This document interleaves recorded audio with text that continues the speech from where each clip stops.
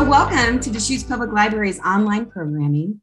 I'm Liz Goodrich, and it's a pleasure uh, to welcome you all here tonight as part of our Know Comics series during the month of February.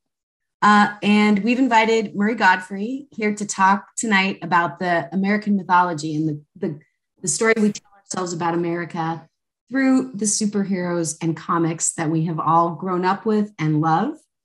So, I'd like to introduce our speaker tonight. This is Murray Godfrey. He is a history professor at Central Oregon Community College, where he has worked since 2012. He received a Master's of Arts degree in history from Texas State University, specializing in the history of 17th and 18th century North America.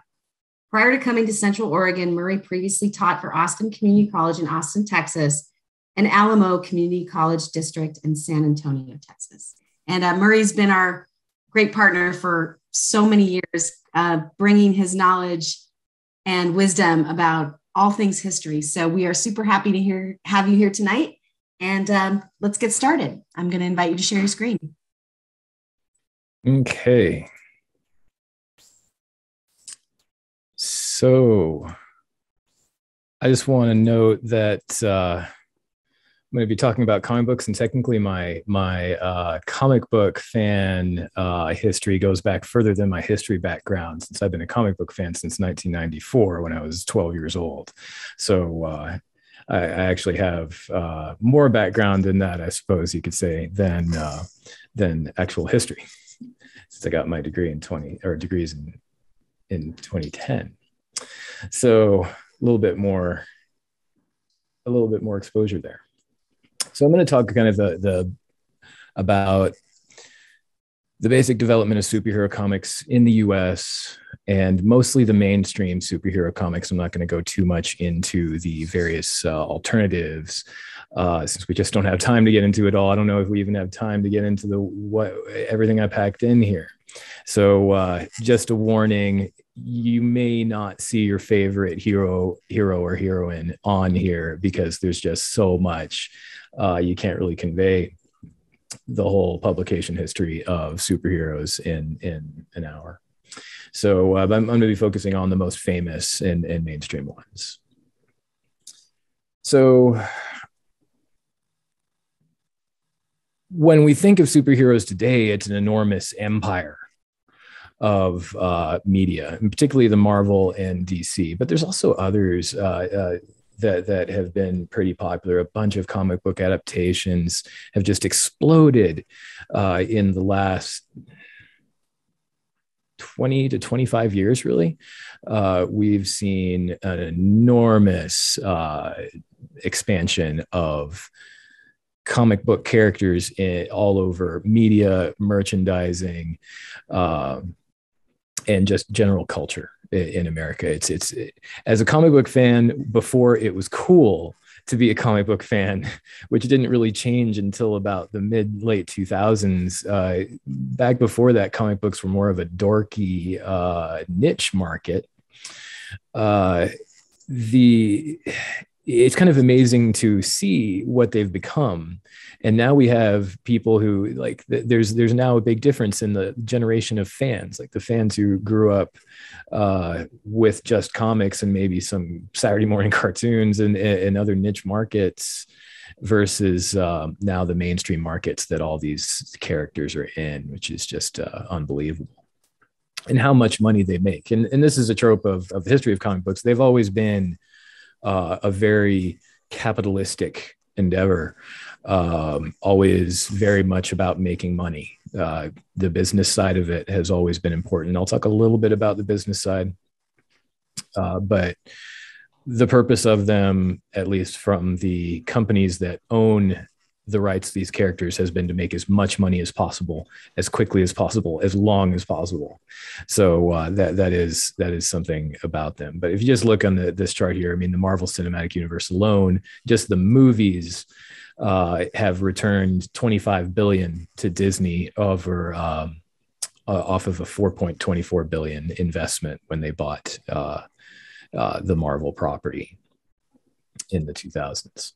So it's uh, now an enormous business and that doesn't count all the merchandising and the tv shows and the the value of the streaming platform which is what disney uses to show all these now. And it's just an, a, a, continuous thing. And looking at their roadmap for the future i mean it's it, it's hard to think when it's ever going to end. I thought it was going to end five or ten years ago and it's still it's it's bigger than ever so that's where it, where we're at today is that this is a, a huge business worth a ton of money.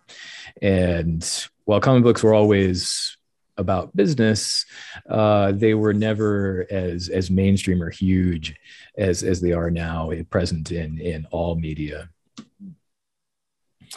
So the the idea behind comic books really is a very ancient one. Um, humans have always had heroic fiction uh, going back to the first recorded story that we have, um, the the the first written uh, proto uh, novel narrative narrative story that, that we have Gilgamesh uh, the epic of Gilgamesh. I mean he's kind of a superhero.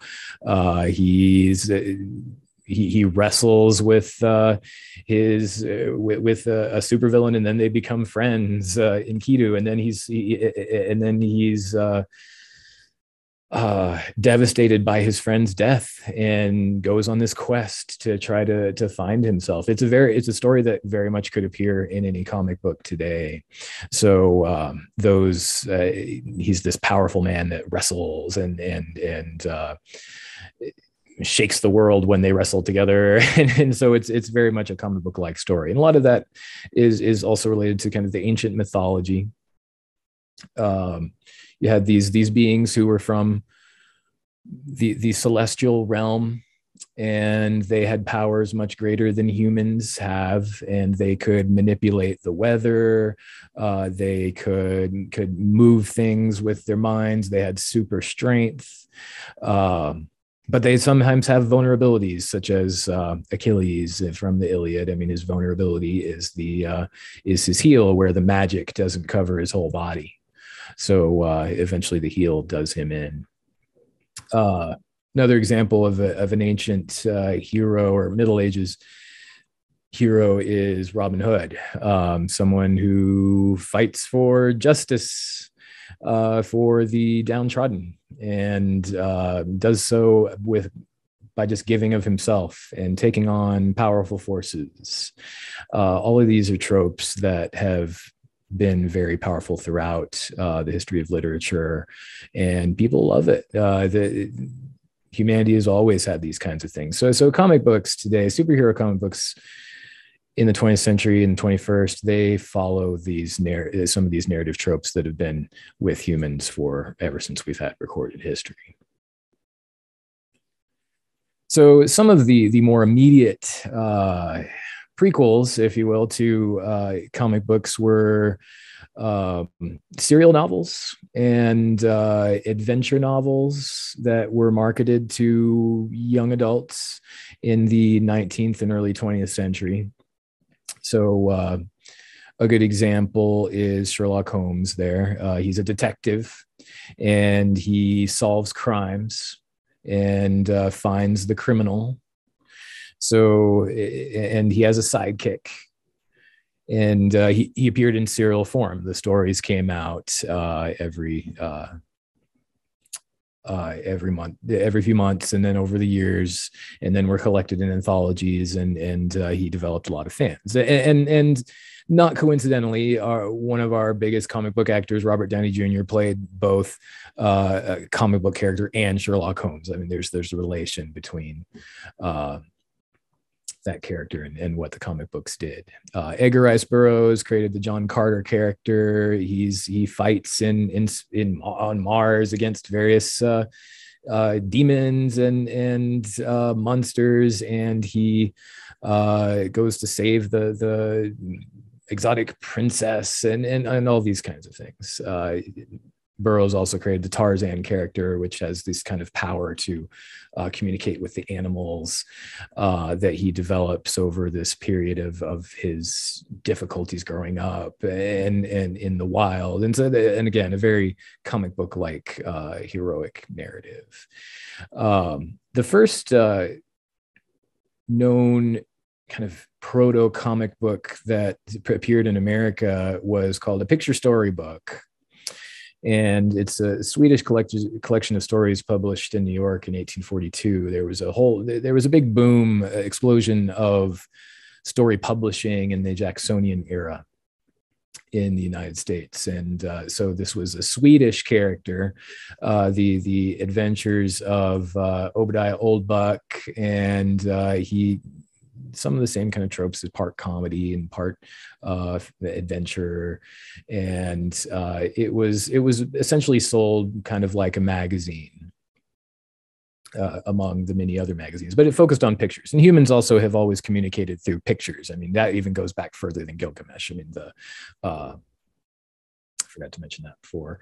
The communicating through pictures in the sequence. I mean, we've been doing that since hieroglyphs, and so the, this is it's it's an extension of that. It's, it, but the, these different forces combined over time.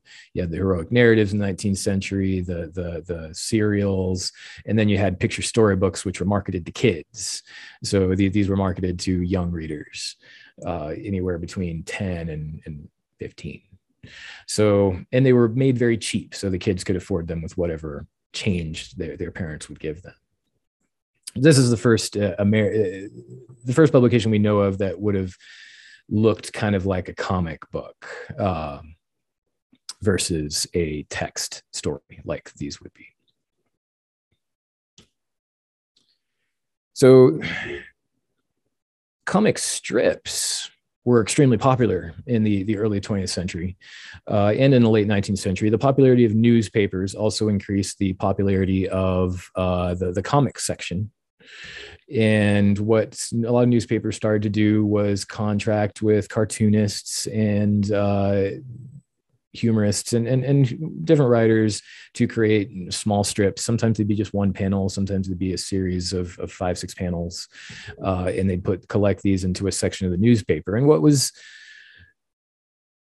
th- this was usually it became very quickly the everyone's favorite part of the newspaper, uh, except for sports would be the popular part for men. But women uh, reported very quickly. Women readers would gravitate to the comics first, and these were mostly humorous in nature.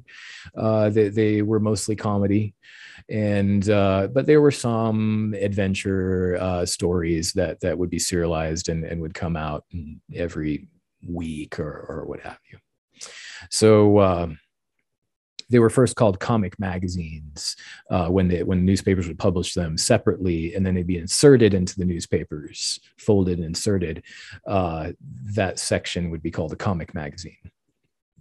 So uh, that first appeared in 1902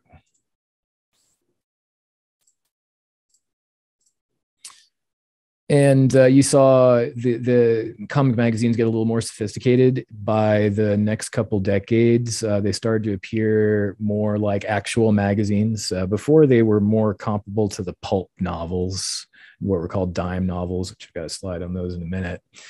But uh, starting in about the 19 teens you started to see them fold the paper kind of like a magazine and either sell them in the newspaper and charge a little more for that particular paper that had this insert or sell them separately.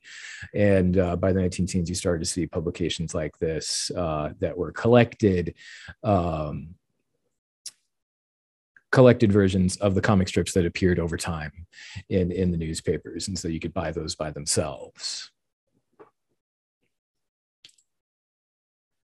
what began to look more like what we think of as comic books started to show up in the late 1920s, early 1930s. Uh, so those previous comic magazines that I mentioned were not original material. They were just reprintings of material that had already appeared in newspapers.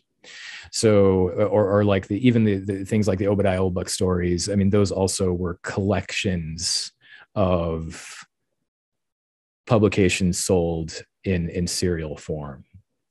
So uh, in 1929, a publisher named George Delacorte was uh, published the first comic strip collection to feature original material, and then shaped it kind of in a in that rectangular shape that we're used to seeing comic books in. Uh, they were much bigger. If you this doesn't portray the size well, but they were bigger, taller, and wider than what we would think of as a normal comic book. The standardized size came out it has has gotten actually smaller over the years uh, because of the cost of paper and ink and printing. So these were bigger, somewhat more analogous to newspapers. They were because they they were still competing with the newspapers and would be sold in the same places as newspapers on newsstands and so they would have looked somewhat more like newspapers but in the shape of kind of a comic book uh, but the what the funnies did and the famous funnies did was uh, collect original material from the creators who, who worked on those strips. And at that time, it was pretty like like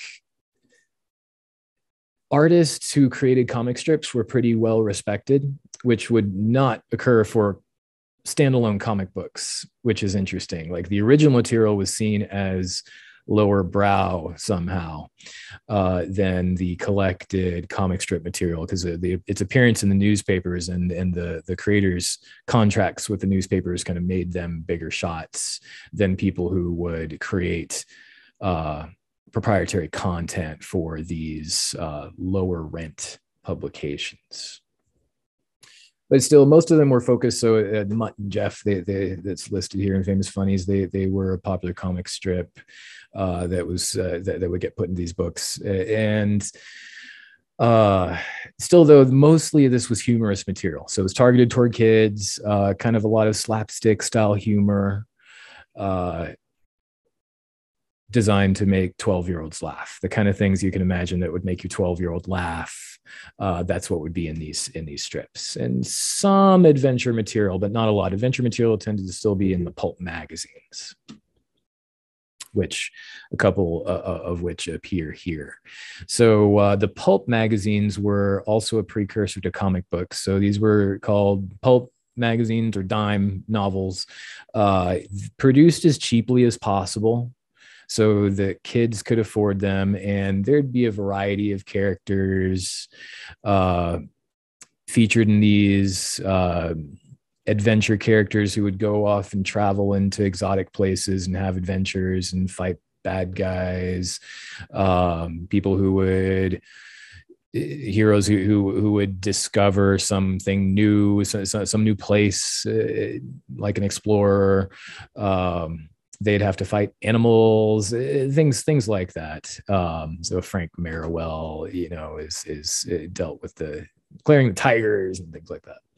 Um, the Shadow, this was a very popular pulp character who uh, targeted toward pre-adolescence, and he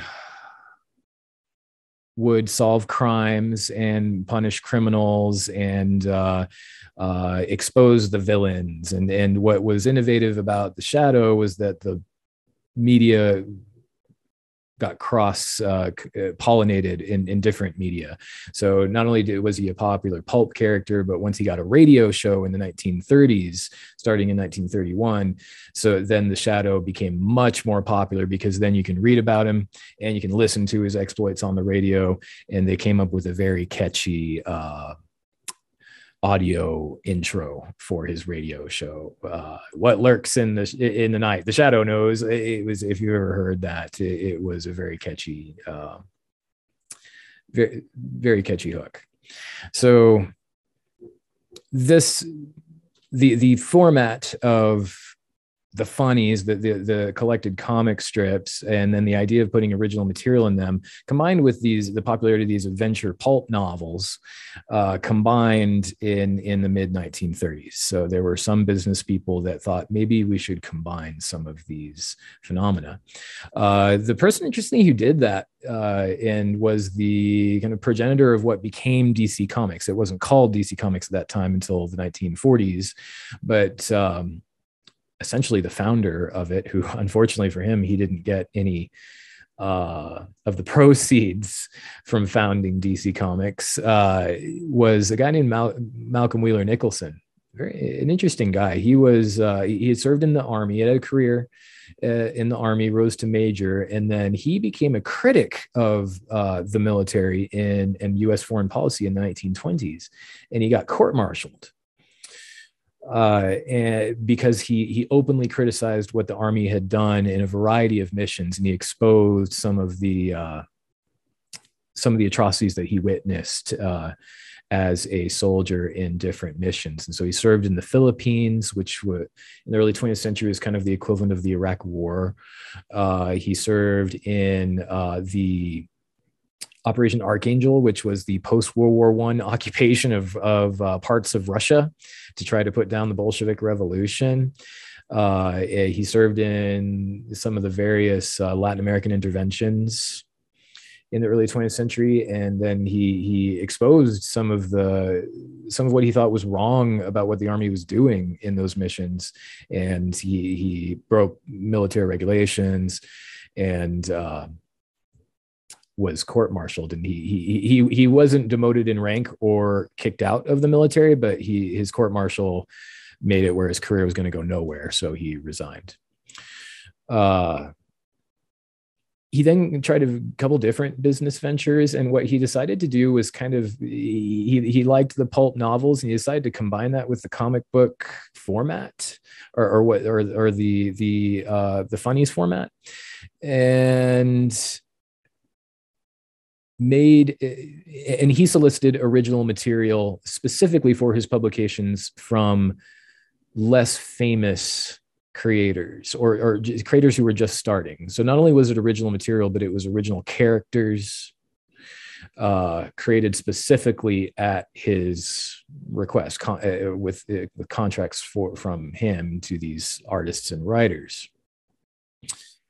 Uh, so this was the first; these were the, the, the first comic books essentially. He, he, more or less invented the comic book format. Unfortunately he was a very poor businessman. He could never pay his bills or pay off his debts. And so within a couple years he was so bad in debt he had to give up the company. Like the, the the people who bought what became dc comics literally locked him out of uh, locked the door on him. And uh, so he was literally locked out of the business. So and in his comics kind of appeared the first what we would call superheroes. And the first one was uh, a character called dr occult which was kind of a proto doctor strange like character um, who uh, used mysticism to help solve crimes and expose criminals and these these appeared in so when you buy one of these comics again the, the pictures here don't do credit to the size. They, they were bigger they were like large magazine size and they were thick. Uh, these these things would have like 60 80 pages of material and they, they contain anywhere from 10 to 25 different stories. Some of the stories would only be one page uh, uh, one page stories with a collection of maybe 10 to 12 panels. Uh, most of the panels were square like this and uniform size. And uh, so they're interspersed with just plain text stories. And so it was it was designed as a publication that a kid could spend a dime on, a dime in the 1930s. So this these first came out in 1935. Uh, the a kid during the depression spend a dime on them and then they get reading material for for a month uh, that would keep them busy and uh, they they'd read you know one story one day another story the next day. And so they they were they were designed to keep kids busy and designed to appeal to somewhat younger children between the ages of anywhere 8 to 14 and um, still focused pretty heavily on humor but these also had more more adventure material uh, somewhat more reminiscent of the of the dime novels so the that, that, these are kind of the proto superheroes. Uh, there was another proto kind of superman character called slam bradley that came out in what was what became detective comics and he was he was created by siegel and shuster the, the creators of superman. And uh, bef- but about a year before superman but he was very superman like and even looked pretty similar, except he didn't have the the jumping power, but he would beat everybody up. Uh, so there were these these uh, various kind of proto characters that you can kind of see some of the the antecedents of what became uh, the superheroes. But where the superhero really came on the scene was was Superman. So uh, created by by Jerry Siegel and Joe Shuster. Uh, they were two young kids. Um, so most of the creators of these early comic books were that that contracted with publishers like Nicholson and then his various competitors that exploded after 1938. Uh, they would either work as freelancers and they would get paid by the publisher uh, by the page for how many pages they created and or they would work for these artist agencies that would farm out their uh, their services to various publishers. They wouldn't only work on comic books; they'd work on commercial art and uh, whatever other services uh, publications needed for artists and and writers.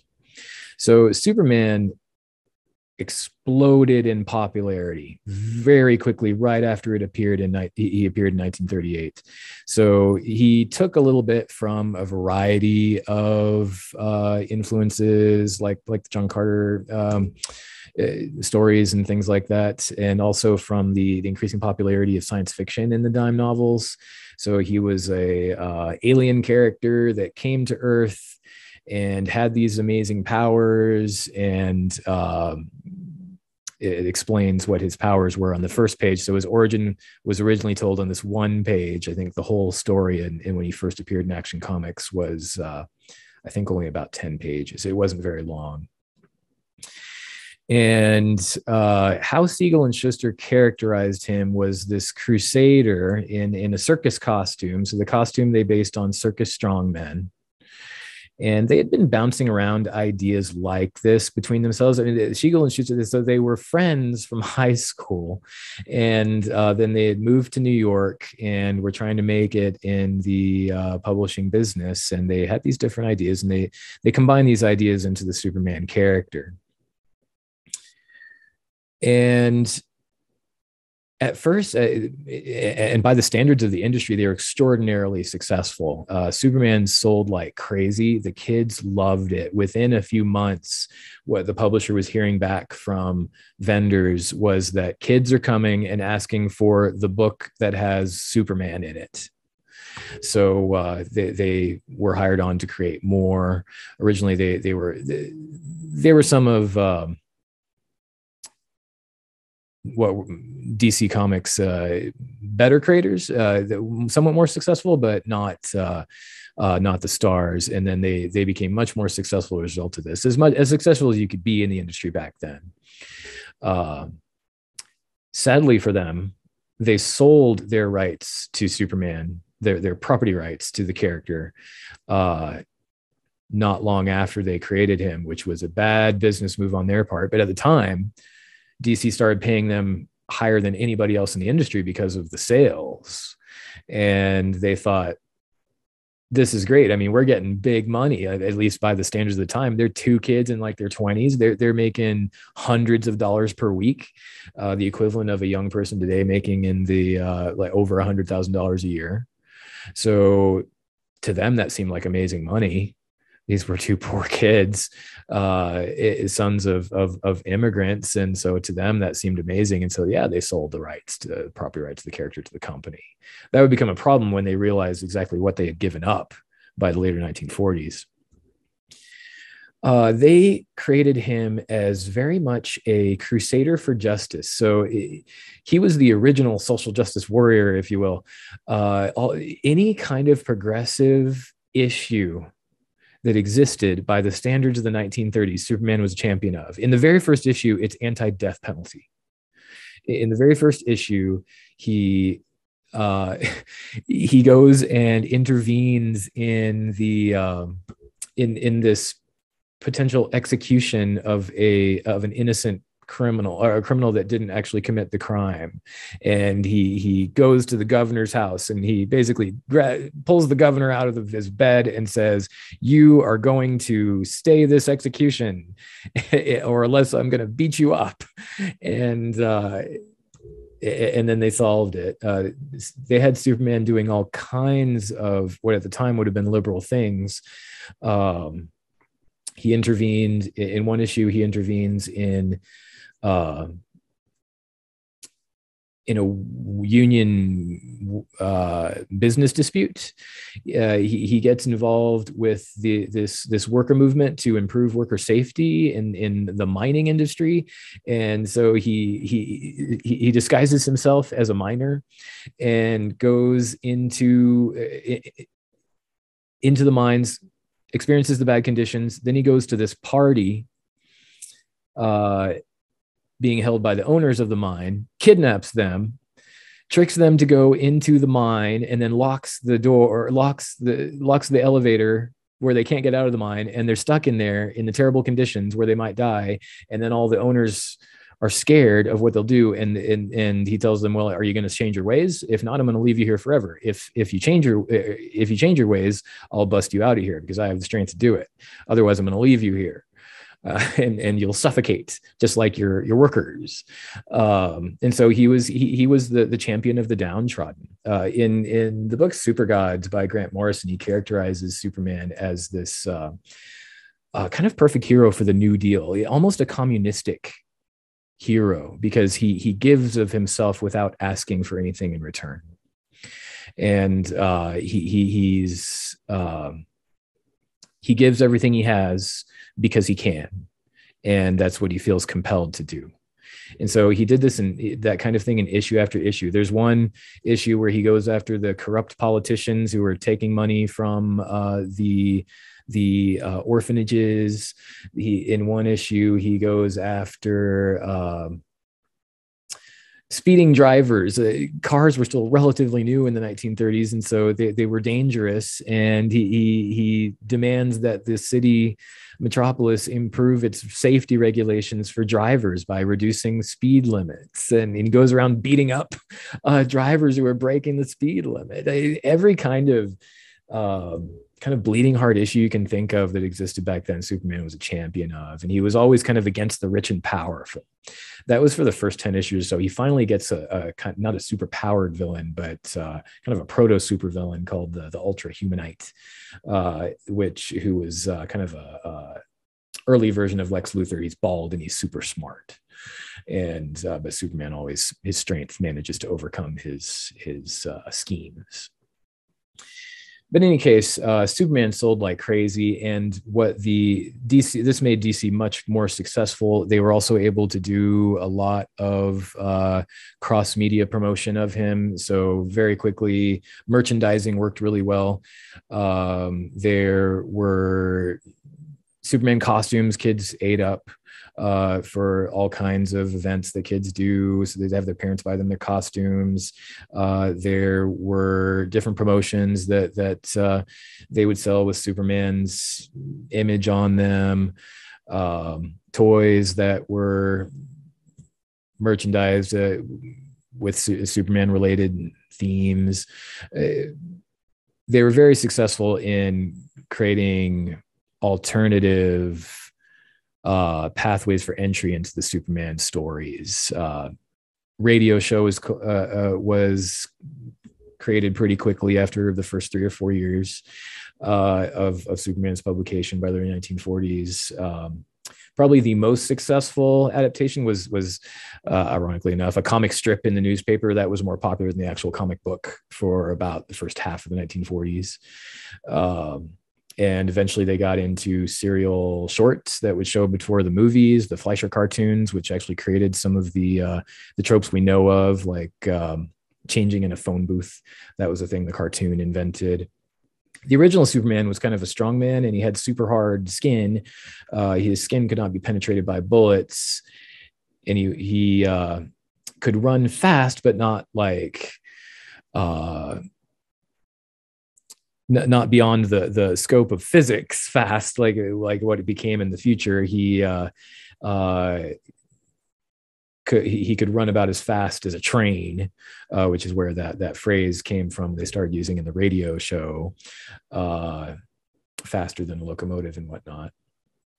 So uh, all, the various aspects of the character built over time, and what the character became was kind of layered on over time. Uh, Siegel and Shuster were the writers for. Uh, a good first seven eight years of his publication history they were the primary uh, creators of him and then they had a lawsuit against dc in 1947 or 48 which they lost uh, and after that, they kind of got out of the comic book business because they the, DC fired them for suing them, and and that they lost the suit, and DC um, maintained control of the character and did what they wanted with it and it wasn't until the 1970s they were able to get something out of it. Uh, Shuster, in particular, was living in poverty uh, at the time the 1970s movie came out. But uh, he he appealed to kind of the New Deal um, culture at the time, and uh, uh, kids ate it up and and especially kids who you know they wanted to sock it to the the man uh, and Superman did that again and again. What's amazing to me is you, and you can find, so I won't endorse any of the bootleg websites that uh, have this material, but uh, or where people have scanned their comic books. You can find it pretty easily online if you want to read basically any comic book imaginable, and uh, fans have scanned them around the world, and so you can you can find these scanned in pretty high quality. And what's amazing if you read them now is how raw they were. Like this is kids literature, but Superman is pretty violent. Like he'll go up to someone who's uh, corrupt or doing wrong, and it, like one of the the stories where he's confronting like this corrupt mayor he goes up to him and punches through the wall right by his head and says you want that to if you don't change your ways this is going to be your head and and uh, a lot of the comic books at the time after Superman were similarly violent. The, the heroes would just like throw the criminals off of buildings and stuff like that. It was very at the time. Uh, there was a lot of popularity of characters, um, the, the like the G-Man, uh, FBI agents uh, who took it to criminals, and um, characters in the movies. Who, who were these tough gangsters like the James Cagney character uh, characters like that. And so there was this uh, rough and tumble nature to the comic books that uh, fed off that kind of culture. It was and there was a lot of concern about the mafia and uh, in the 1930s and connections between the mafia and and, and politicians uh, and a lot of people wanted to you know hit them. And superman was a character that did that so yeah there's one there's there's one comic this this is the one i was thinking of where he's anti-war. He actually goes so the european war that that became world war ii that was uh, starting right around the time superman was uh, becoming popular. And so in one of his issues he goes and stops a war and then lectures everybody who was involved on how bad war is. Again that was a progressive uh, idea at the time other major character coming out of that uh, early golden age area era was Batman, created by uh, Bob Kane and Bill Finger. Um, they also were inspired kind of by the circus in terms of the physicality and uh, they wanted a character that would uh, be a little bit more down to earth and but but be somewhat more like the shadow like darker and um, more visceral. And so uh, Bob Kane was the artist uh, who created the the general uh, look, but Bill Finger, uh, unfortunately for him, he, he he gave a lot of input and kind of created a lot of the narrative tropes uh, about like who he was and why he did what he did. It was Bill Finger's idea, for example, to create the the origin story of the parents being killed, and that's why he fights crime, which they didn't develop that until uh, something like 15, 20 issues in. But uh, Batman also took uh, the the the readership by storm. The kids ate it up, uh, and he uh, very quickly developed a very uh, uh, significant following. The the company was able to merchandise a lot of Batman related toys and things like that, and uh, it became kind of the core of Batman and Superman became the core of DC's uh, whole business uh, within within a couple years. Uh, by the night by 1940, after these characters had been around one two years, uh, they were by far and away kids' most popular reading, uh, most popular reading material for for boys, especially uh, pre-adolescents between eight and twelve. Wonder Woman was another golden age character who was quite interesting, one of the ones that lasted. And uh, she came out in the early 1940s and she was created by a psychologist named William Moulton Marston who wanted to uh, imbue comic books, uh, children's literature with his kind of philosophy. He was older than much of the writers. So the creators of Batman and Superman, they were kids, um, especially the creators of Superman. I mean, they were young, like college aged kids. Um, Bob Kane was a little bit, I think he was, he was upper 20s or, or or around there, but still they were young. Marston was an older, established person. He was already well known uh, around the country as a premier psychologist. He had uh, created a technology that became the polygraph test, uh, the lie detector test and was an innovator in uh, the scientific world uh, in his research about um, blood pressure and uh, lying and, and, and the, the, the effects of the brain on, on blood pressure and whatnot. And uh, so he was already well known and well established. And he had this kind of interesting life and philosophy in which he, he believed that, that women were morally superior to men and I wouldn't call him a feminist per se because he, he had some strange ideas uh, about sexuality and all kinds of things. But he he believed that there needed to be more female energy in comic books, and so he he created Wonder Woman as a character to uh, uh, to provide that energy, and uh, she hit the the the comic book world at the right time, right at the beginning of world of America's entry into World War II.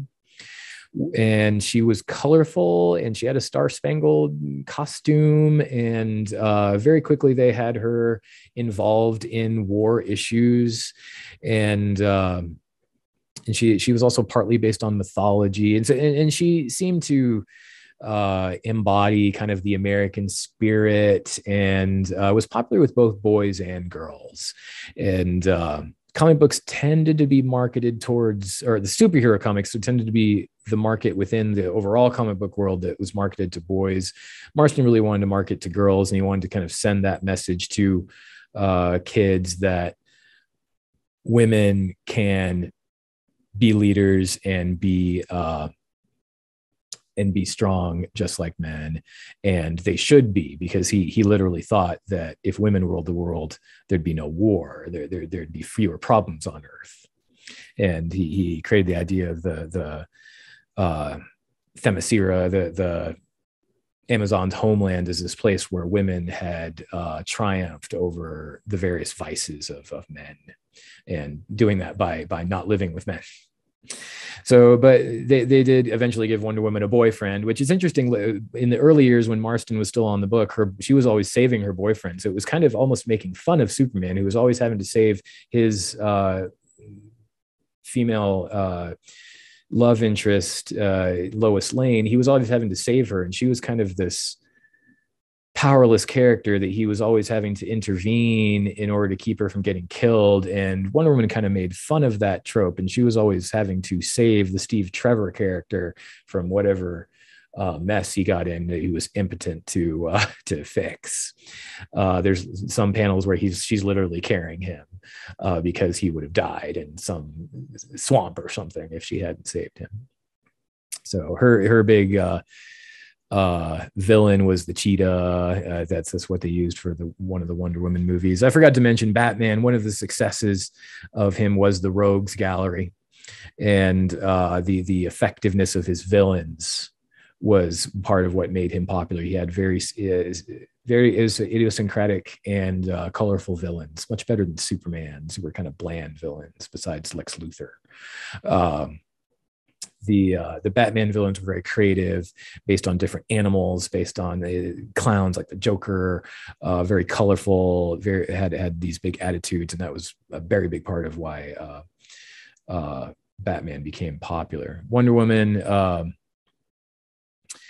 she became very popular among the troops in World War II, and uh, for for a variety of reasons, and uh, uh, her her popularity continued as well. Uh, Marston had some interesting sexual ideas, and so he he also was was a fan of trying to mainstream things like uh, bondage, and so the lasso was a little bit of a, a innuendo. Like she would tie up these people and they would have to obey her. And and uh that, that was a little bit of his trying to send the message of sex doesn't have to be what the traditional idea of it is it was also kind of a, on the on the downside. I mean, we think of she was probably one of the more progressive characters in comics at the time, but then her sidekick character um, is kind of this embarrassing uh, fat shaming because there's, there's, always go back and forth between her and uh, her sidekick about like why can't I be thin like you and strong and powerful? And she, I mean, she's always eating too many cookies and whatnot, uh, which uh, was supposed to be the comic relief, but uh, now it's kind of painful to read probably the most popular superhero of the 1940s, uh, other than Superman, and, and, who even eclipsed Superman's popularity for a while, was Captain Marvel, uh, who eventually they had to change his name to Shazam. And he he was created by um, Fawcett Comics, so a competing company with DC, and very kind of Superman-like. They ended up losing a lawsuit to DC, saying that they had stolen too much of Superman to create Captain Marvel. But that that was a few years later in the 1940s. Um, Captain Marvel had Superman-like powers, super strong, could fly, uh, but his powers came from again mythology, and uh, he he met this this wizard who combined these mythological powers into one person, and you could gain those powers by saying the wizard's name, Shazam, and uh, what really appealed to the readers of the time because the readers are, are the pre-adolescent kids and captain marvel was a pre-adolescent kid. His alter ego was a 12 year old boy and he had the attitude of a 12 year old boy both in his normal human form and in his superhero form he was just an overgrown 12 year old boy and uh, the the captain marvel comics focused much more on humor and so he was uh, much more of a humorous character. Superman and Batman were pretty humorless. Uh, they they didn't have a whole lot of levity in those comics, especially not Superman. Superman was like, "You're doing wrong, and I'm gonna beat you up if you're if you don't do right." Like that was kind of the message. Uh, Captain Marvel was much more about having fun he was a kid and he got to do what every kid wanted to do, which was be big and strong and not let anyone push him around. All he had to do was say the word and he transformed into all this, this powerful character and he'd beat up all the people who would make fun of him and and uh, but at the same time he'd have fun doing it and then he he gained his whole Marvel family, his whole series of sidekicks that could say different words and they'd become a version of of the hero with similar powers uh, and that kind of that that was part of the uh, the Marvel family was part of the sidekick craze uh, that started in the early 1940s. Batman had his sidekick Robin.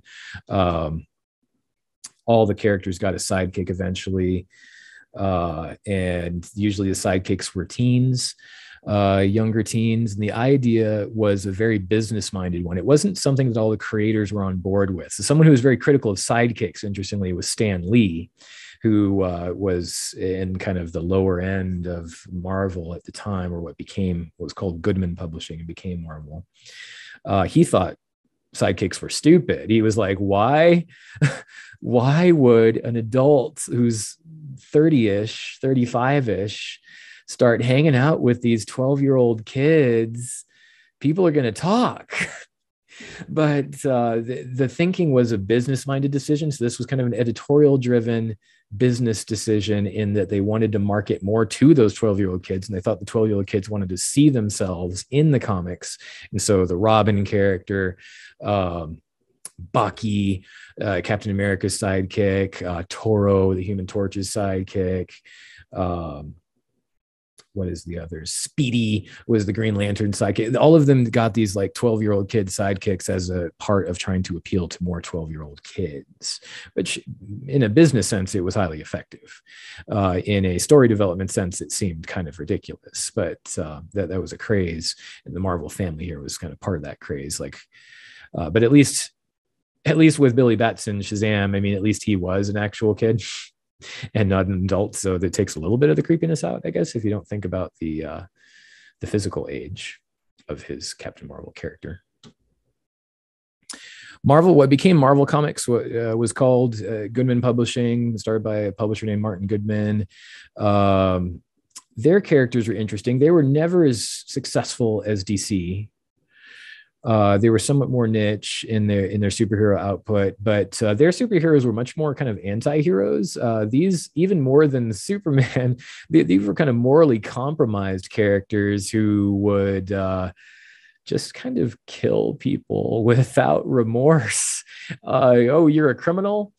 I'm going to burn you alive. I'm the Human Torch, or, uh, or uh, and and here's you know his his psychic being like, "Atta boy, just burn these these creatures," um, which unfortunately you see the the racist tropes here, kind of the the Asian uh, race and racism here going on. The Japanese flag there, very prominent feature of 1940s comic books, um, and Submariners fighting them too uh, they'd just destroy their opponents and you didn't ask questions. And, and uh, so there was this kind of moral uh, culpability going on here. And marvel was a little bit more open with this than dc where there was a little bit more of a moral code behind what drove their characters.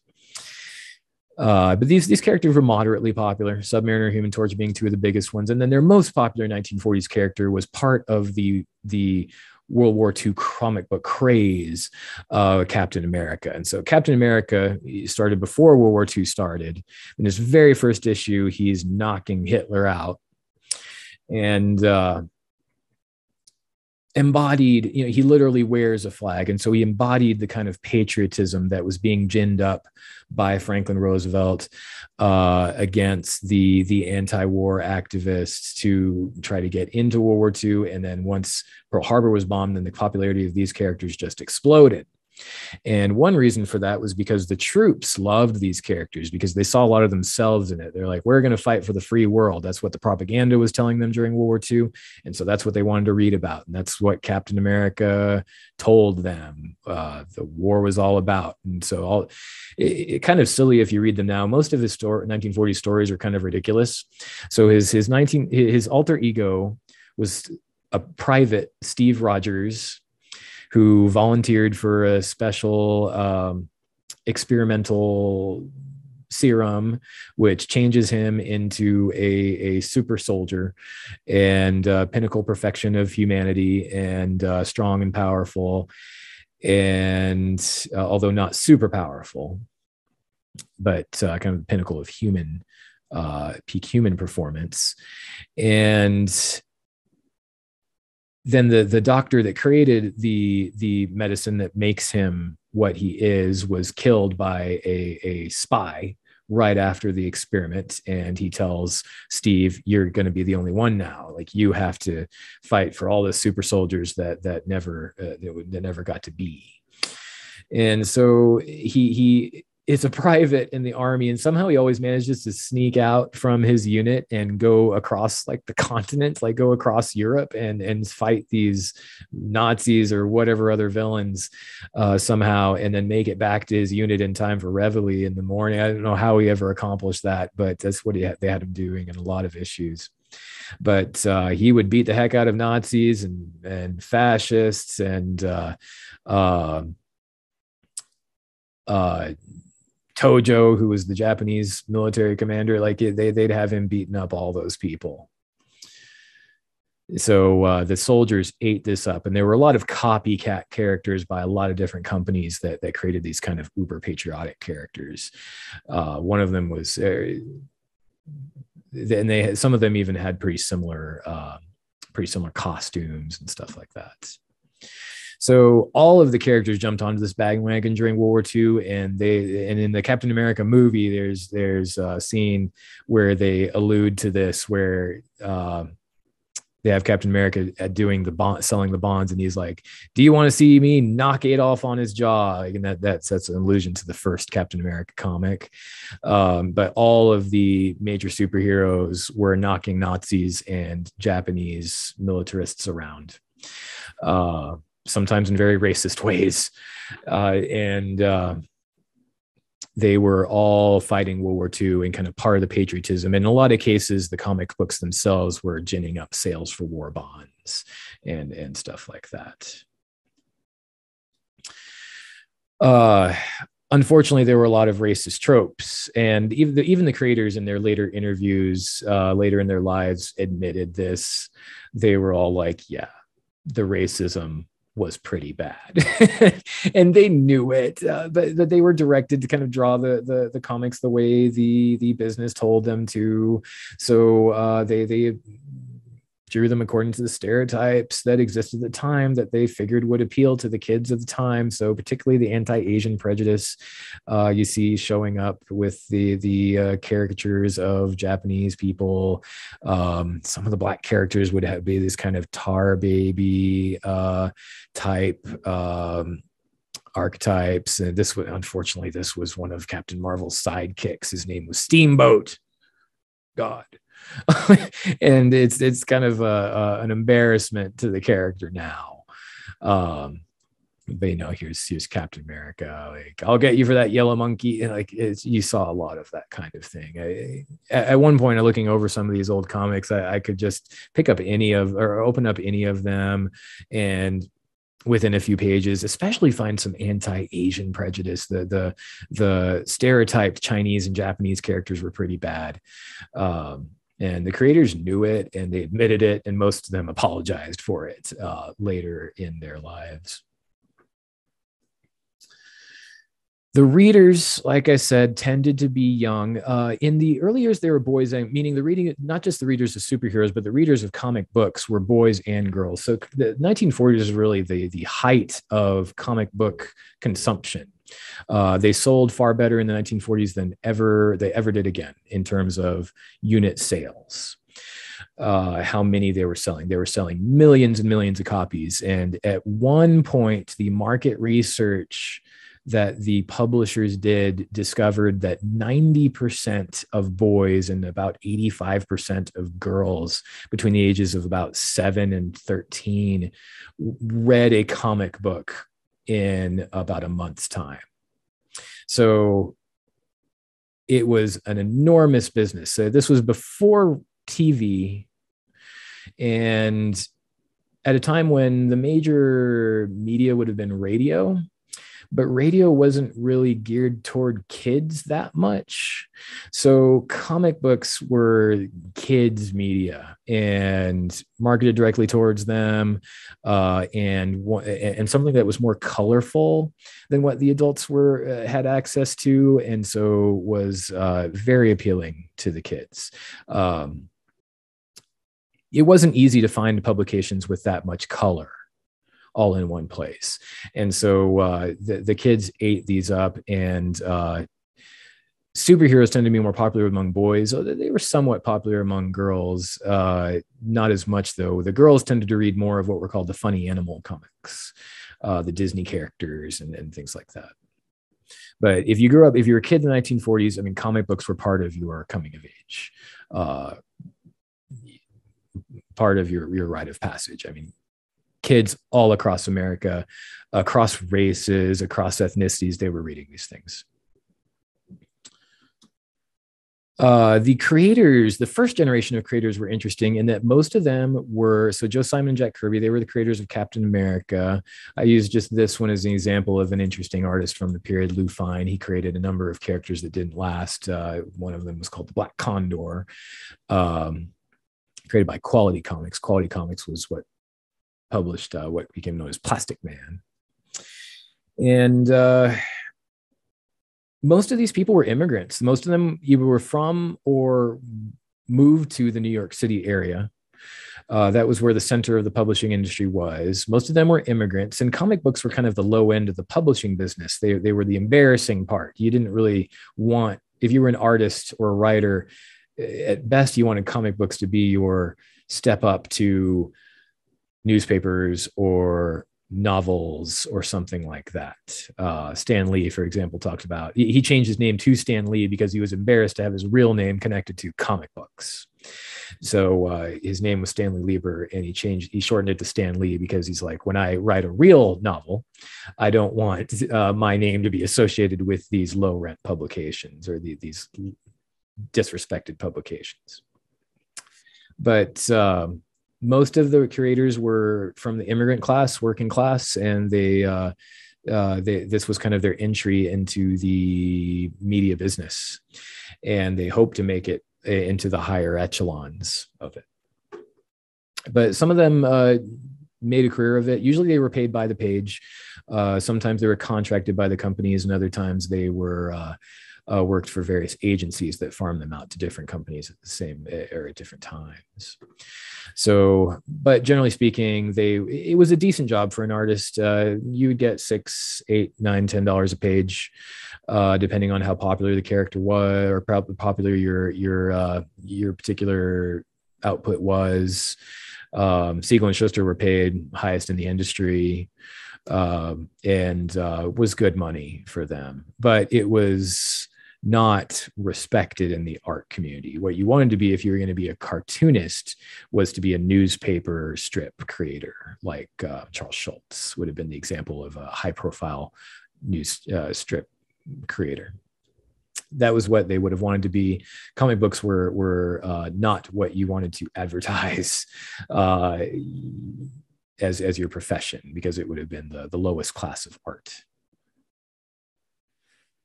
uh, post World War II. So after World War II, comics actually expanded. The comic book industry got bigger. Superheroes declined, though.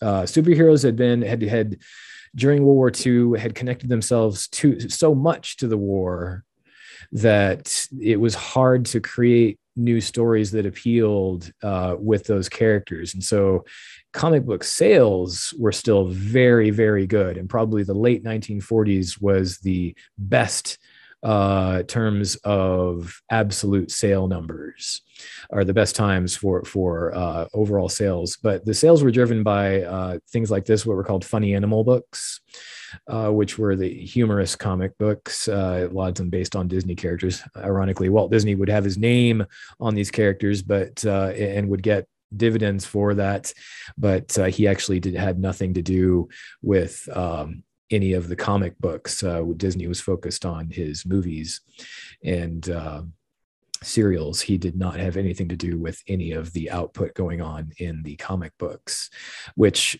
interestingly enough, created some of the some of the most uh, iconic. Uh, Disney tropes. So Scrooge McDuck was was created in the in the Dell comics that featured uh, featured Disney characters.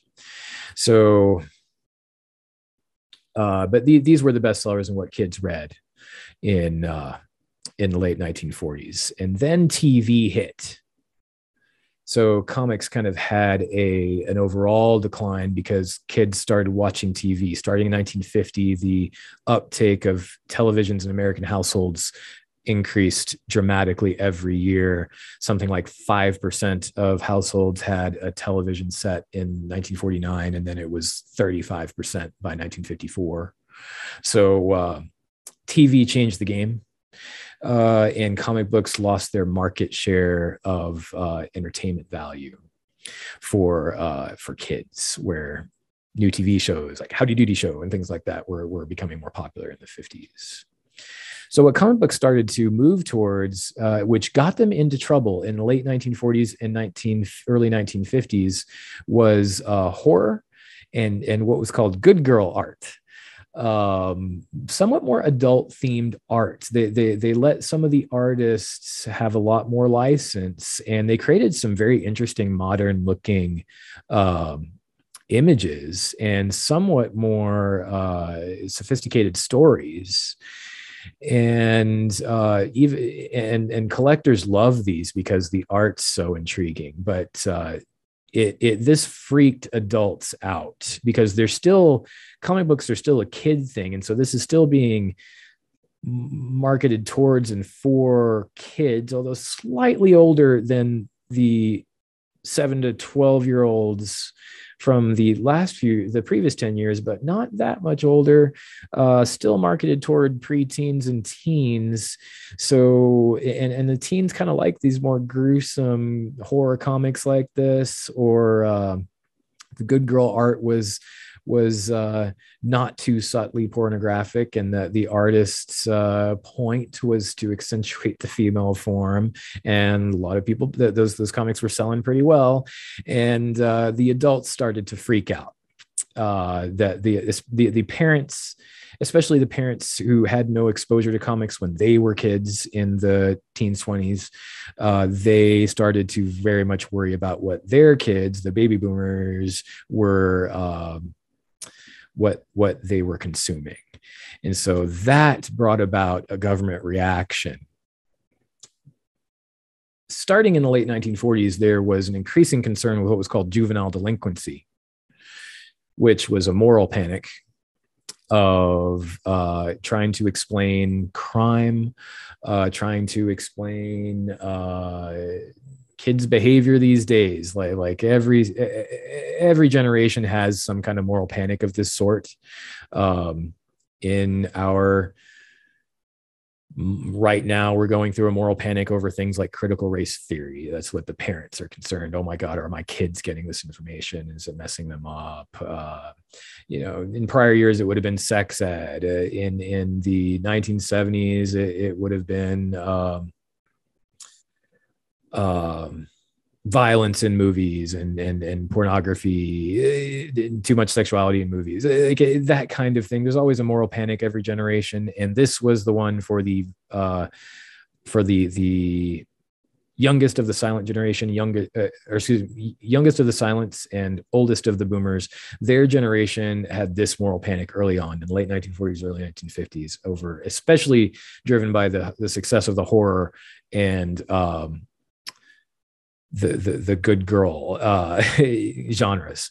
So the the idea was, and the, the most prominent uh, spokesperson for this idea was Fredric Wertham, who was a psychologist. The idea was that that comic books were rotting kids' minds and psychologically damaging them at impressionable ages. And uh, he wrote a book that was very popular called "Seduction of the Innocent," and that inspired a uh, a cultural backlash against comics. Uh, and it, it fit into Red Scare tropes. And so part of the argument was this was turning them into deviants, and deviants were more likely to become communists. So we have to protect our children from this. And a, an ambitious senator named Estes Kefauver, who wanted to become president, never got to. Uh, he um, came close to, uh, or he, he was a threat to win the Democratic nomination, but uh, lost to uh, uh John F. Kennedy. Uh, the Kefauver was was spearhead of these hearings in the Senate over poisoning the minds of kids through comics and what these comics were doing. And the industry was poorly prepared to respond. Remember it was it, the comics industry was like the lowest level of art and writing and art and literature. And so the the business people behind comic books really weren't prepared for uh, how to respond to an all-out uh, government political attack on them. And so the hearings focused on violence in the comics, on sexuality in the comics. Uh, Wonder Woman was a particular focus of, of Wertham. He thought she was teaching girls to become uh, lesbians. Uh, the and that was going to turn them into communists because LGBT and communism were connected in the Red Scare.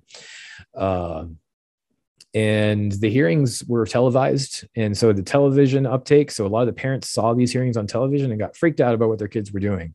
And so the industry in order to protect itself responded to this by saying okay fine we will self censor ourselves extremely because we don't want to be shut down which is what they were afraid of. And so this had two effects. One, it changed what comics could be about. And so a lot of this this cool stuff that came out in the late 40s, early 50s, uh, the really cool kind of modern uh, art that's even pretty innovative by our standards today, uh, it had to go away. The particular, in particular, the horror that was the genre that was hit the hardest because they focus a lot on oh the blood uh, that's being shown. And some of the the creators like they, they that showed up the business people that showed up at the hearings to try to defend the comics Kefauver would ask them questions like is this uh, a good image to show to children? And the, the creators would be like well should I show a bite without any blood? Does that make any sense? I, I want to convey something uh, interesting, and and and that just made things worse. So because uh, they didn't understand the, the political football that they had become.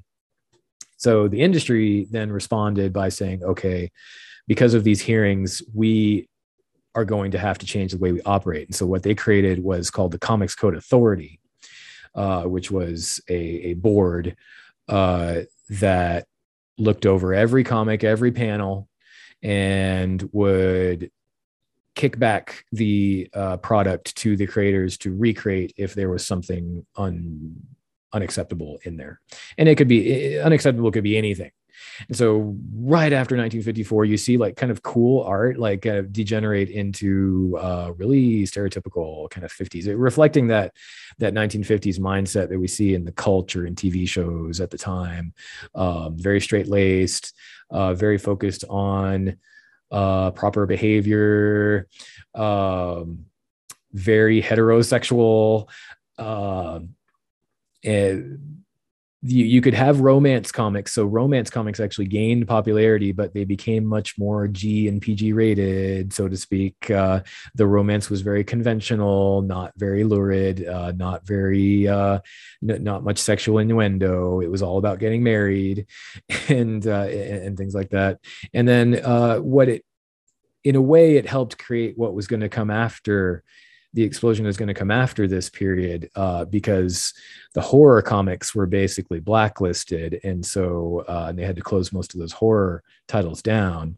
But you could still have sci-fi comics. You could have people fighting robots and aliens, but you shouldn't have them fighting people. And you could have them firing rays, but not bullets. Like they could have ray guns, but not actual guns because of the violence. So uh, sci-fi started to be focused on a lot more by the creators. There was also a consolidation in the business. So there were dozens and dozens of comics publishers through the 1940s and early 1950s uh, of varying size. DC was the big one, but and Dell, the publisher of the Disney ones, they were the big one.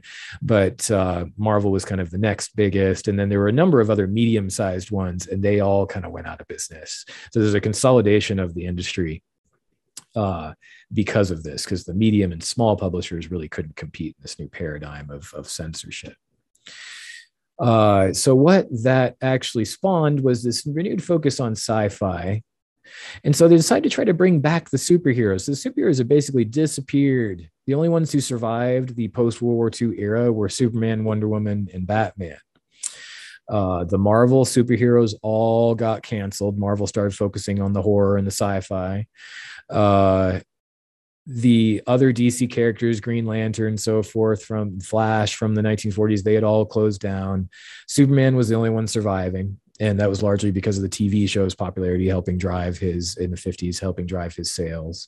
Uh, Batman was barely surviving and uh, Wonder Woman had had also kind of a, a, certain baseline of popularity. Those those three three were the only main superheroes that made it through the era. Uh, most of the others all failed uh, because of declining market. And then after the uh, uh, after the censorship, they had to change and focus more on kind of the sci fi aspects. And so, what DC decided to do was revive their superheroes, but put them much more in a sci fi context where their powers are. Um, originate from science. So the Flash, uh, he was a revived character. They made him more kind of sleek and uh, electric than the old Flash had been. They made his powers more uh, sci-fi-ish. He got his powers from electricity, uh, from an electric accident, and um, they also grouped the superheroes. Uh, so they, they, they, created what was called the Legion of Superheroes, which is a big group of uh, kids doing heroic things. And uh, the Justice League uh, was a combination of some of their moderately popular characters. Uh, Wonder Woman, Flash, and they they uh, created Aquaman and brought back Green Lantern, and gave him a refresh, kind of like Flash, made him sleeker, made him more Cold War warriorish instead of uh, instead of his prior origin, they made Green Lantern into uh, a test pilot and who, who got these otherworldly powers from his ring. And John Jones, the Martian Manhunter, he was a detective. So uh, they, they uh, made the origins more modern, uh, made the stories more saccharine in a way, but more sci-fi-ish, where you uh, you were dealing with otherworldly threats and not doing so much damage to other people, which had been kind of a trope in the 1940s comic books, where they were beating people's heads in. So they wouldn't do it in the actual panel, but the communication was, "I have thrown this person out of a window." Uh, that kind of thing went away. And this is where you get the tropes of, you know, the superheroes don't use guns ever. Uh, Batman does not kill ever, even though he's a vigilante. And the easy, uh, the, the, the easy answer would be to kill the Joker? Why don't you just shoot him? Uh, th- th- that kind of thing uh, that that came out of this 50s kind of uh, push to not be so violent. But the, the DC did pretty well in revamping their characters, giving them the sci-fi edge, creating different uh, parallel universes for them to operate in and operate in their own contained universes that would sometimes cross over all that were, were DC innovations, who really, though, became popular in what became known of as the Silver Age. It started after the Comics Code. Uh, started in the late 1950s with this new sci-fi interest. Uh, Marvel really went overboard and uh, started to eclipse DC sales in the 1960s, and uh, they did that in a, in a handful of interesting ways. So Marvel was about to go out of business. They never really could recover from their main characters losing their popularity, and they they were floating on uh, kind of break even margins off their sci-fi and horror, or not horror, their, their sci-fi and their romance uh, books. So they really weren't making any money. Uh, Stan Lee had been in the business for 20 years and he was kind of sick of it. He was like, This isn't going anywhere. My reputation isn't being helped by this. Uh, I'm going to quit. And before he quit, he decided that he was going to, his wife t- convinced him to write a comic like he would want to write it and not worry about what the publisher's pressuring him to write. So he's like, fine, I'll, I'll write a couple last stories uh, that reflect more what I would like to write and so that with that came Fantastic Four in 1961, and there was much more of a. He, he drew from the romance comics, and then he put he combined superhero adventure stories with uh, soap opera type drama and teenage angst and kind of aimed the stories a little bit higher in age than typically superheroes had been aimed. Uh, they, they had typically been aimed at those pre adolescents. And so he aimed them more instead of like 12, 11, 12, 13, he aimed them more at like 16 year olds, 17, 14, 15.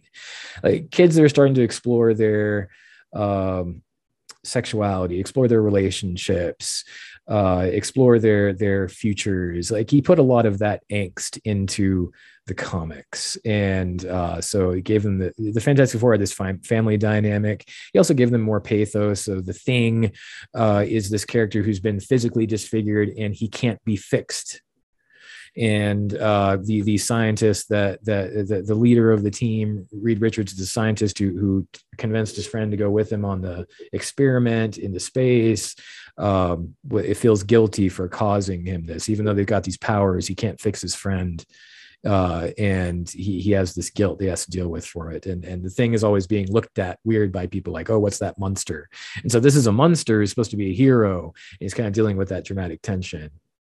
Um, and then there's the the the family dynamic the human torch and his sister so they recreated the human torch as a teenager the old human torch had been an android uh, they create him as a teenager kind of hothead who's always acting up and wanting to uh, explore uh, his life and the way he feels is fit.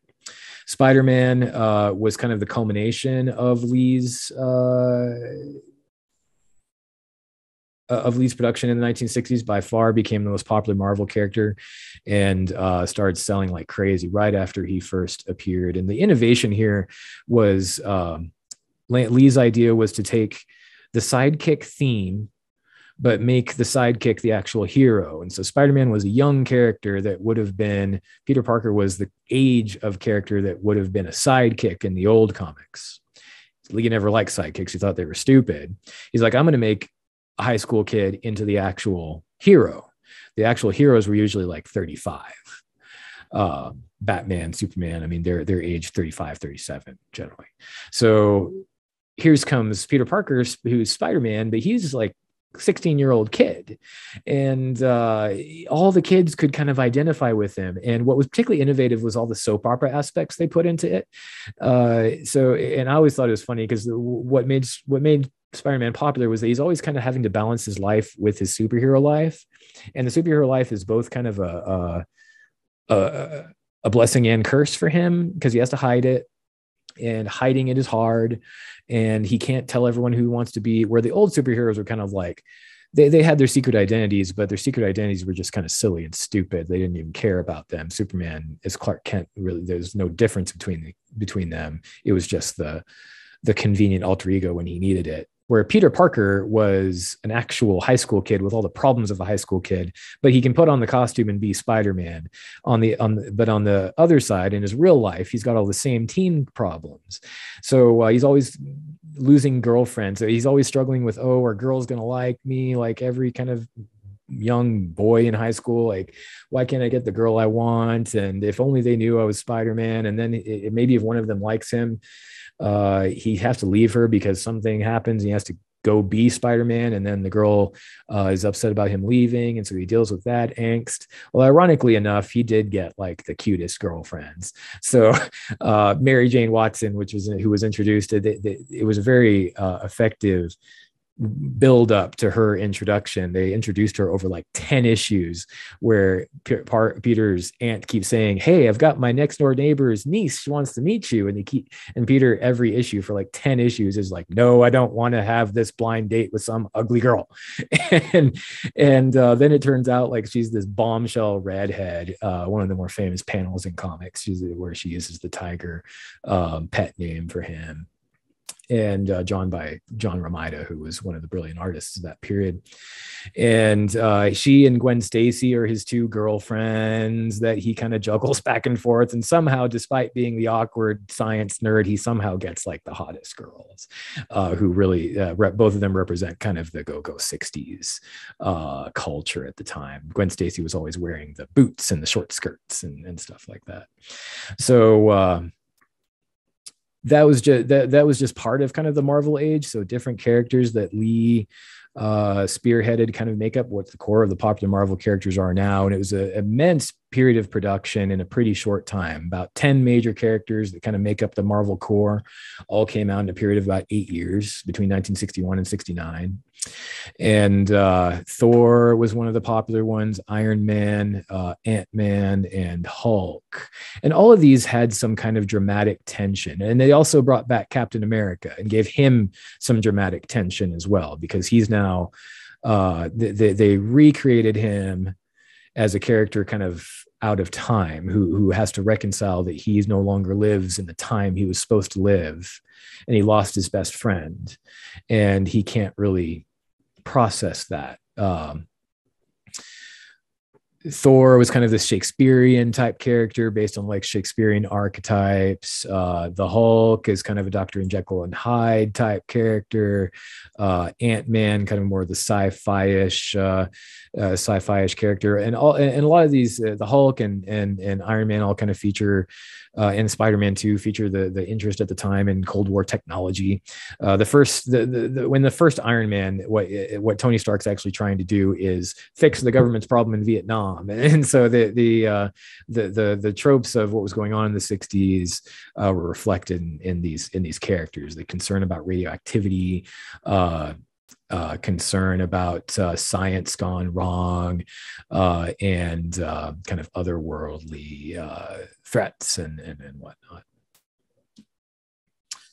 Hulk, they turned from gray to green. So originally he was intended to be gray. Uh, they turned him to green because the printers could not get the gray right. So the different in the first issue of the Hulk, he was different shades of gray, like in different pages, and they couldn't fix that. And so they're like, fine, we'll, we'll make him green. Um, until we got the green skin that ended up being more popular. DC's comics uh, were much more conservative in nature, but where DC took off at the time was with the Batman TV show. I mean, it was huge. Uh, from 1966 to 68, it was this short-lived but amazingly intense phenomenon where uh, just the the ratings of the Batman TV show were insanely high. It basically ABC was kind of a failing network before Batman, and then when they got Batman, it uh, made them the best, the, the, most popular network, and uh, it was very effective because it kind of it it was both relevant in that the characters dealt with issues. So Batman in the TV show dealt with kind of modern issues like drugs and and things like that, but in a, in a way that uh, combined the silliness of pop art that was also popular in the 1960s and kind of gave this levity to it. And so it was very effective visually. It, was somewhat relevant and they were dealing with issues of the time but doing so in a comforting way. And um, adam west complete as the actor who played Batman completely embraced the comedic nature of it. He, he kind of was like when he did his screen test, he busted out laughing how silly the whole idea was, and and and the the producers loved that, and he played that that sense of levity with the character, uh, which was really not the original intention of the character. Batman is kind of a humorless, I'm going to kill criminals type character, and uh, he became much more. Um, about the gadgets and kind of more of a James Bondish uh, kind of uh, uh, wisecracking character. He also, at the same time in the comic, got a new look. Uh, they made him more sleek, uh, gave him a little more color by giving him the yellow uh, belt and and uh, moon behind his behind his bat symbol, and um, the comics reflected kind of what was going on the TV show too. His his his villains got uh, more uh, fantastical and and, and more uh, silly. Uh, there was a, a, reaction to the civil rights movement in the comics uh, with with the black characters. So uh, Marvel went further than DC on this. Marvel was usually the publisher for willing to push the envelope a little bit more on the social issues. Uh, their first major black character, well, their first black character was actually a war character in the um, in the Nick Fury comic, but uh, the, their first major black character was Black Panther and uh, he was this African character that came from this kingdom that had this amazing uh, metal and made them very technological, the most technologically advanced country in the world. And he was the prince of the country, and we had to become the king. And he first appeared in Fantastic Four, and then he got his own comic. And the name, obviously, um, was uh, drawn from the Black Panthers uh, uh, movement uh, going on in the late 1960s, and so he he reflected kind of that uh, pro pro black nationalist uh, idea of the civil rights movement. Uh, the first African American character or major character was Luke Cage. Uh, he was a criminal from Harlem. He was in jail, and then he they offered him kind of a serum, kind of like Captain America, to make him into a superhero, and it made him super strong and and durable and uh, he he kind of has a lot of these. He deals with a lot of kind of the race issues in in Harlem at the time. And then Captain America took on a black sidekick, who well, not really a sidekick, more of a partner, uh, named the Falcon, who wasn't a very interesting character uh, in terms of his development, but was uh, fascinating in terms of the equal billing they gave him. And uh, throughout the 1970s, Captain America was often the vehicle that Marvel used to kind of push various social causes. So there's one arc in the mid 1970s in which Steve Rogers is so disgusted by the Watergate scandal, he, he can't be Captain America anymore. He tells the Falcon, I can't do this. I, I don't know what America is about anymore uh, because of what's happened. And I'm, I'm not going to be Captain America. And he throws down his shield and takes off his uniform and he becomes like a, a different kind of hero that doesn't have the American symbol. And the Falcon and his friends have to try to kind of build him back to it. Um, the, the major publishers didn't go into too much radicalism, but they did reflect countercultural impacts. Uh, in in particular, a series of stories that appeared in the late 1960s, 1969, uh, that dealt with drug addiction. And so this was, and, and, a couple of these had to be made without the Comics Code Authority uh, stamp because the the the Comics Code Authority would not allow uh, the characters to promote drugs, even though they were fighting against drugs in the stories. But uh, the just going into the details of what the drugs' impacts had on characters uh, was something that was too much for the censors. And so, in a couple cases, they had to print them without. Uh, uh, without that censorship. Critically, these books were very well received, although they didn't uh, sell that well. But they did kind of raise the bar in terms of the of the literary value.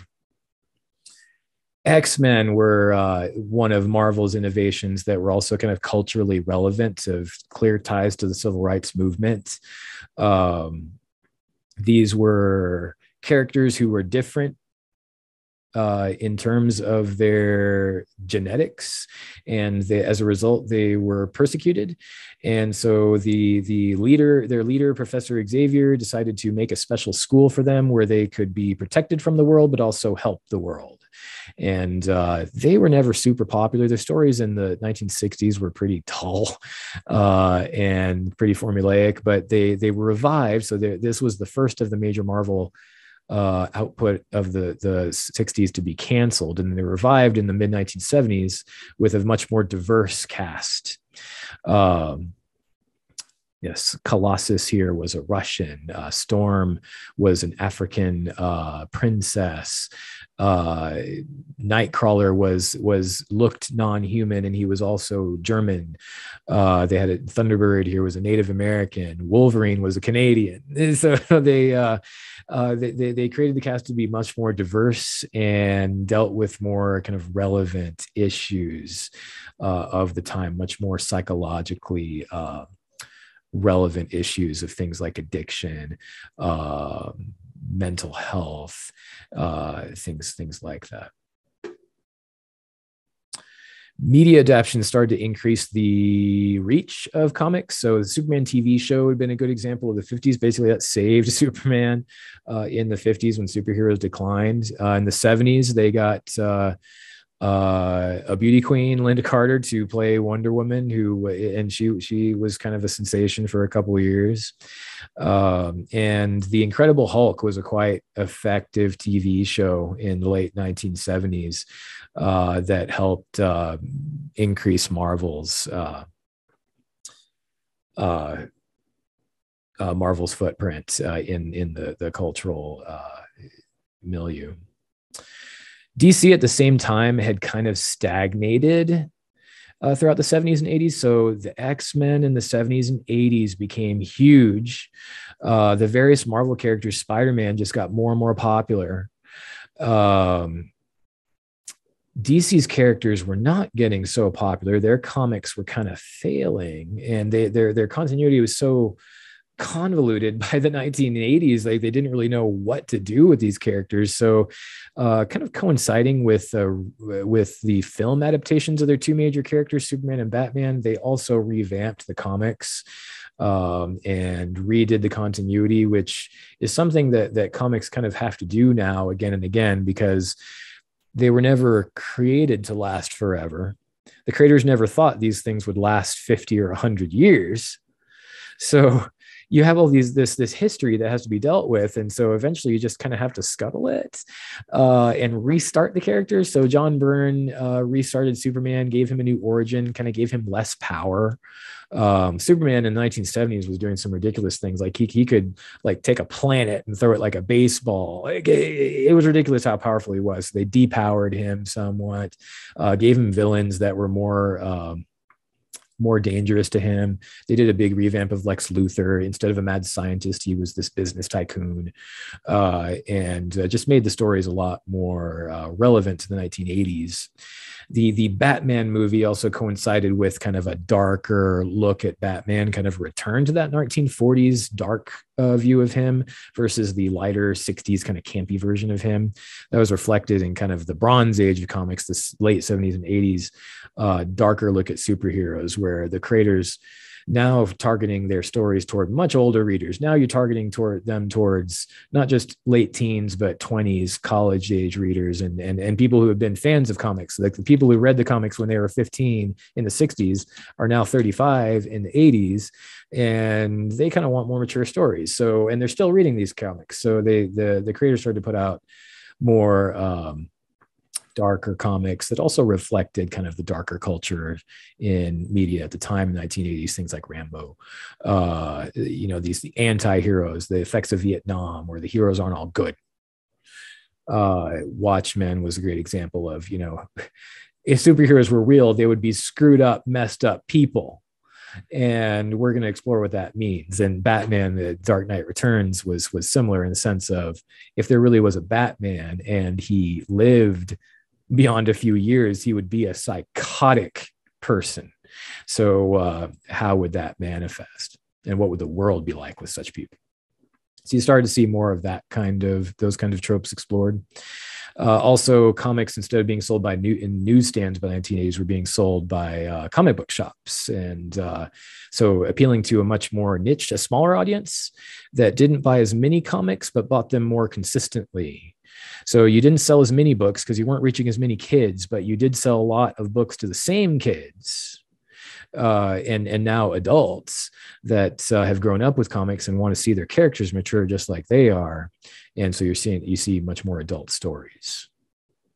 In the '90s, they took this too far, expanded things too much. So there was a collectible boom because of the explosion of comic book shops and uh, it was like any bubble uh, at some point you grow the bubble too much and it's going to pop. And so the the publishers focus too much on these variants where you would sell multiple copies of the same book for speculative purposes. So the collectors would purchase a ton of them and try to resell them. So like these four different variants of the x-men number one in 1990 i think this was 91 or 92 when when that came out and then 93 they did the death of superman which they stretched over like 50 different titles in order to sell as many as possible to the same folks who are buying all of this story arc. Um, and it just it created a bubble. It created both a bubble in the amount they published and a bubble in the speculation of the back issues uh, which uh, crashed and created a crisis for the industry. And uh, Marvel went bankrupt again. Uh, but in the 90s, the bankruptcy was pretty serious. They sold all the rights to their characters to different movie studios, trying to stay afloat financially. DC did a little bit better, but uh, also had overextended themselves.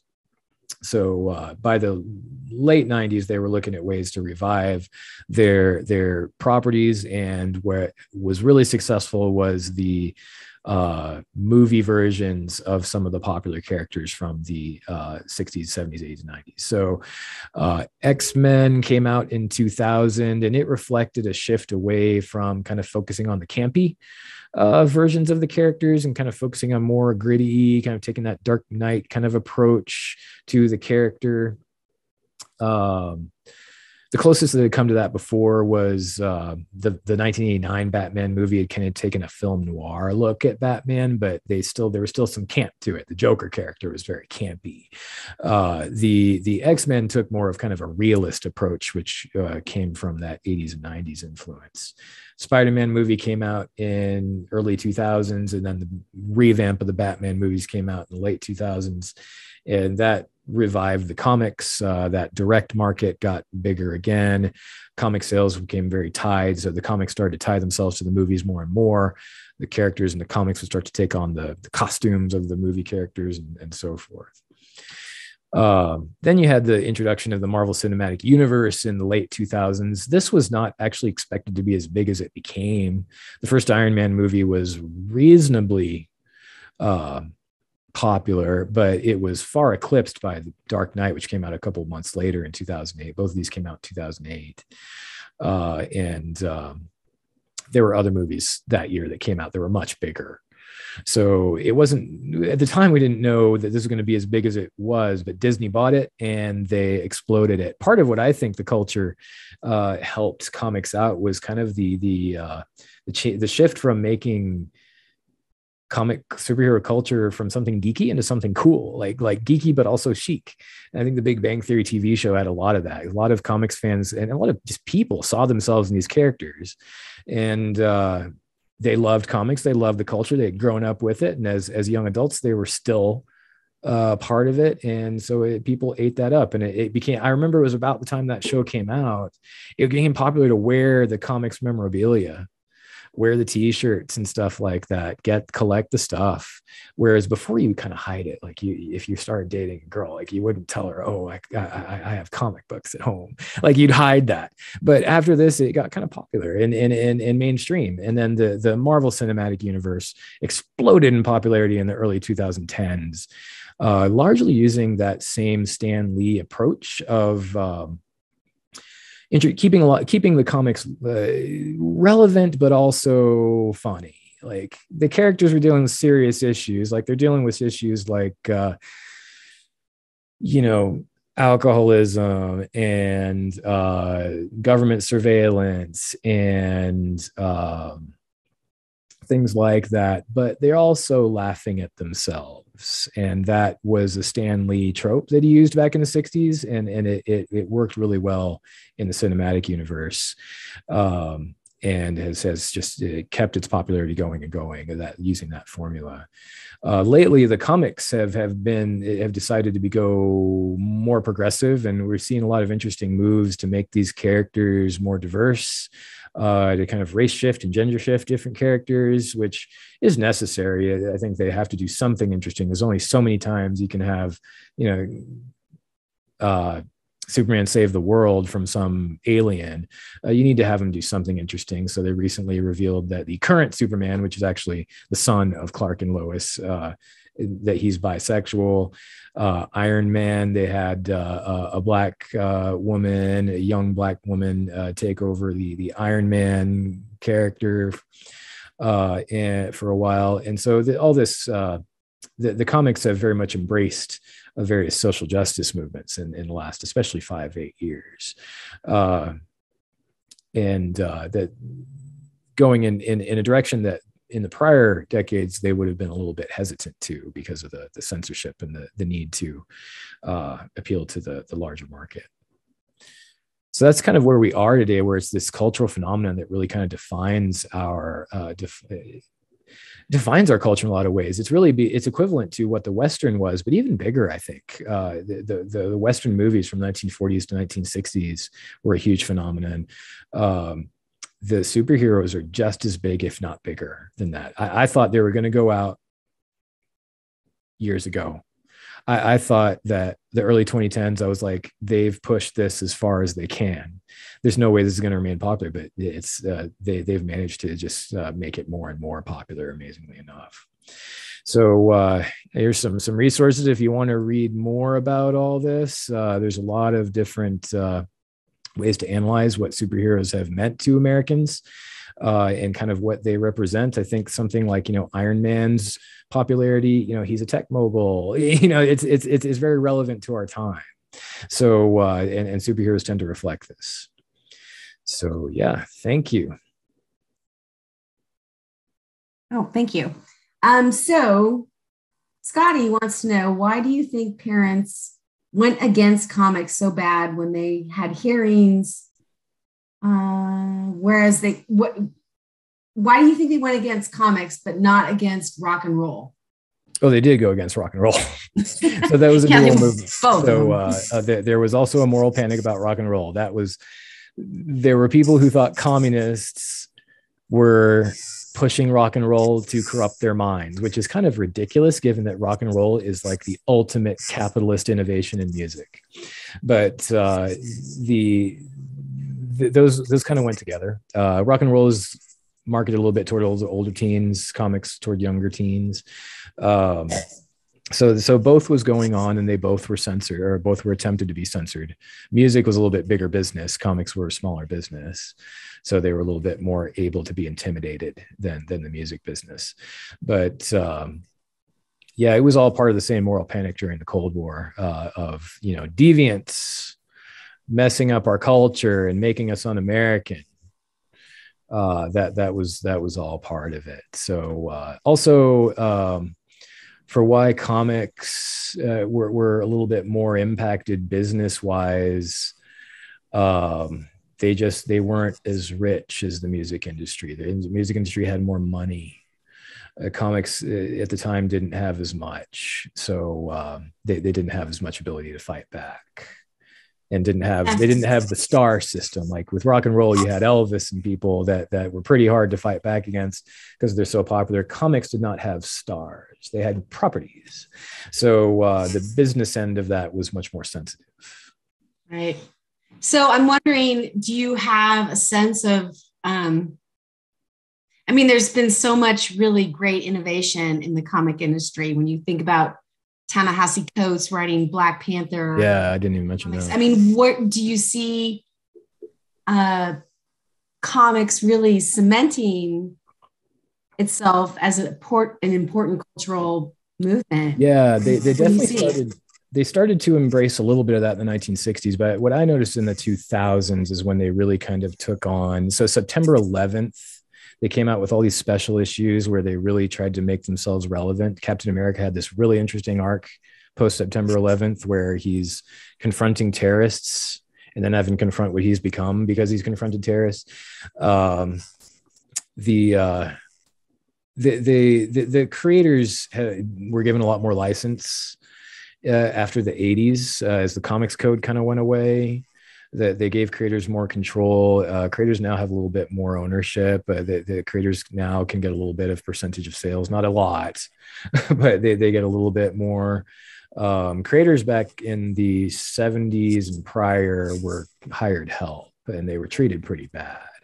Uh, the publishers were pretty much tyrants over them. And so they had to uh, they, they, had to kind of do what they were told, especially DC. DC was the more corporate uh, kind of stuffed shirt, uh, corporate, let's not rock the boat uh, publisher. So, and Marvel had created a little a style that was a little bit more lenient, but there was a limit to that leniency. They couldn't go too far. Like they couldn't embrace the counterculture. They could address it, but not embrace it. Um, but yeah, now I think they've embraced progressivism. I think the creators are just these these people who are uber progressives, and I think they've embraced it. I mean, they're artists, so uh, I think they've embraced differences, um, and uh, they they want to to push that message. And I think they know that what they create in the comics is now viable to become mainstream media because what the MCU has done has done what was innovative in the 80s and 90s. What the movies have done was what was innovative 20, 30 years ago. So I think the creators now know that in the 2030s or 40s, what they're doing might become mainstream phenomena, cultural phenomena. So I think they're conscious of that. Yeah. I just, I love, you know, my brother was a big comic book fan with all the action heroes and um, definitely Wonder Woman is my my favorite. Uh, yeah. They give us some hope. They give us some understanding on how a, a way to look at the world. And I appreciate the work that is being done in the in the comic world and the movies for sure. Yeah, yeah. Okay, yeah. so the, the last big question. Oh, okay, so last remarks, Murray. Do you have anything else? Because I got one big last question. Oh, that's uh, everybody I, I, wants I to I'm know. I've, I've talked a lot. we have one last question. Everybody wants to know, and I know because you told me before we started who is your favorite superhero and why? Uh, my favorite's Captain America, and uh, I was I was drawn to him one uh, kind of from an early age when I when I went to comic shops. Uh, I was just drawn to that particular comic because uh, the first comic I ever bought was an Avengers comic, uh, and I thought Captain America had the coolest part in there. Uh, and then I, I, I embraced the other Avengers character, and I just I just kind of like the sense of you know he's the non uh super powered of them and yet is able to kind of do he's able to be the leader even though he's the weakest like he doesn't have the cool suit and he doesn't have the godlike powers or or the uh um uh you know scientific uh, induced powers or whatever like he he has he he's essentially a good athlete and uh, and has to use has has to use his his hum, humanity really to to win. So um, yeah, he he was always my favorite character, and uh, you know, I just I kind of like the the idea of kind of fighting for what's right. I mean, Captain America by the point I started reading him was was you know focused on uh, trying to be about what made America good and uh, I was drawn to that. So, but I, I, liked a lot of the characters. I, mean, I liked both Marvel, DC, and I like some of the alternatives that I didn't get to talk about, like Vertigo and or um, Image and whatnot, or Dark Horse Comics. But uh, it, it, the I like all of them, but that was that was my original favorites. The second favorite would have been Spider Man. So uh, love Spider Man. yeah, yeah. I mean, he, he's kind of the the I always lean a little bit more toward Marvel than DC, even though I like DC. Their continuity is so convoluted, I could never, I could never quite get it. Right. All the all the different universes, it never made sense. Yeah. I love it. The storytelling is so important um, to, and and I just love the idea of the comics and the DC and the Marvel universes just walking alongside our belief in who we are as human beings uh, and Americans. So this has been really. Any last questions? Oh, oh. So Tom wants to know: Will you create a program for the Hero Cowboys? Yeah, I probably should. Jones, um, Cisco Kid, etc. Yeah, and there's you know there's interesting modern versions of that, like Jonah Hex and whatever.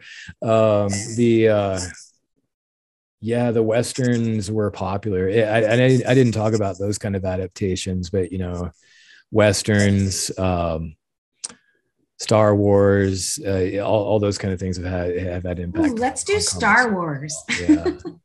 Well, Star Wars actually appeared as a comic first before it came out as a movie. They yeah. gave it the story. Let's talk about that. Yeah. Um. So, okay. So, really want to thank you. This has been really great. Cool. say good night. You guys are great. Love the discussion.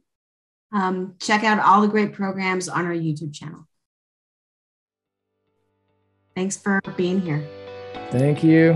Thank you.